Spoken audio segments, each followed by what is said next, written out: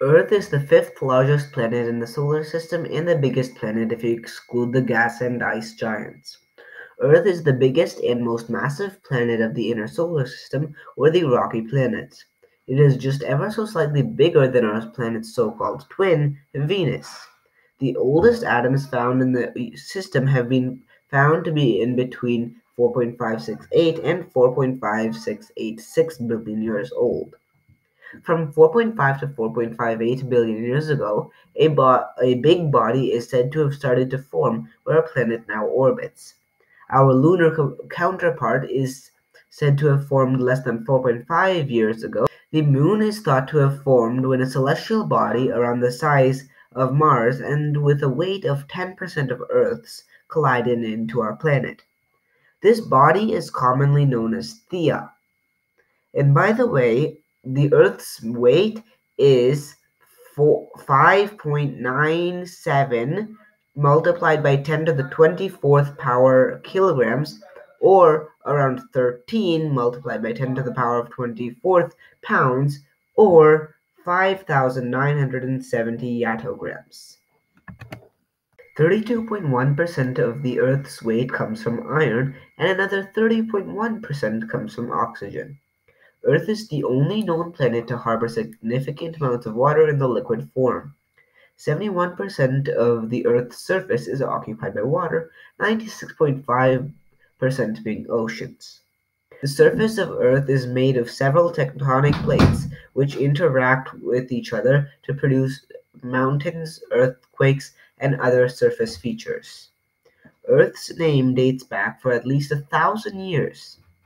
Earth is the only planet to not be named after Roman or Greek god or goddess. Every other planet in the solar system is named after one, although the name is a Germanic word which simply means the ground.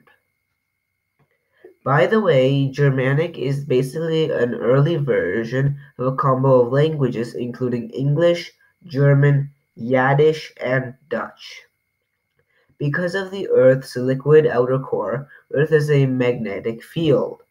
The magnetic field creates the magnetosphere, which shields the planet's atmosphere from being ripped away from solar wind. You probably already knew that our atmosphere consists mostly of gaseous nitrogen and oxygen. To be more specific, the atmosphere is composed of around 78.08% nitrogen, 20.95% oxygen, along with around 1% water vapor, depending on the climate. Argon is the most abundant inert gas in the atmosphere, with it being around 0.93% of it. Even after the ozone layer, a molecule made by the molecule O3, the average radiation dose is around 0.274 microsieverts per hour, or around 300 nanosieverts. The tropics receive more energy than the poles, and this explains why they are hotter. But because they are hotter, they transfer heat toward the poles, mostly via the atmosphere and the ocean's currents. There is plenty of water vapor in the atmosphere, resulting in big, fluffy objects commonly known as clouds. These objects are spread all over the planet. CO2, which is commonly known as carbon dioxide, and CH4, also known as methane, are special gases. These amazing gases help keep the planet warm by trapping heat emitted from the sun. Our planet is an ellipsoid with a circumference of approximately 40,000 kilometers, 25,000 miles, or 40 megameters. Our planet has the highest density of any planet in the solar system at an average of 5.51 grams per cubic centimeter. Like all rocky planets, Earth does not have rings. If you've heard that Earth is egg shaped, it isn't. But it is true that Earth is not a perfect sphere, as it bulges out at the equator, making it a slightly flattened sphere.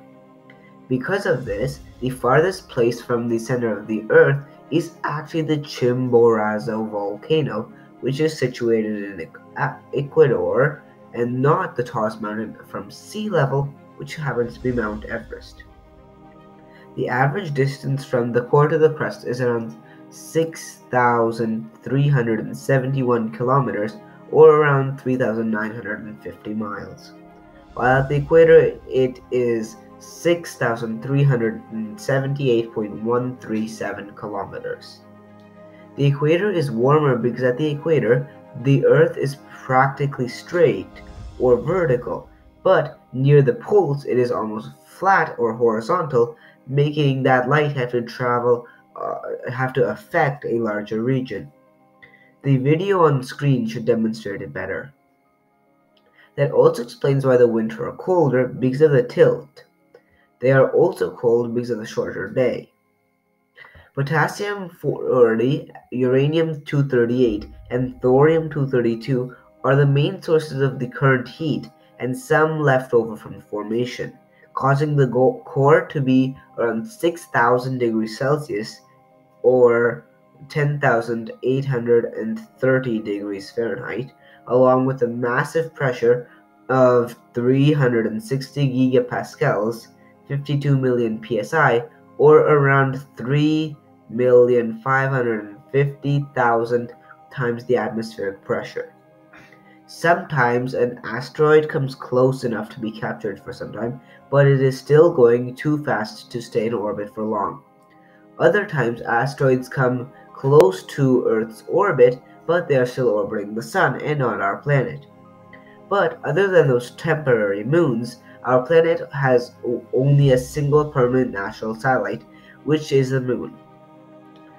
This body is around 1.3 light seconds, or 384,000 kilometers away, or 240,000 miles on average. The Moon is around a quarter as wide as our planet. Because of tidal locking, one side is always facing toward us and the other side always faces away.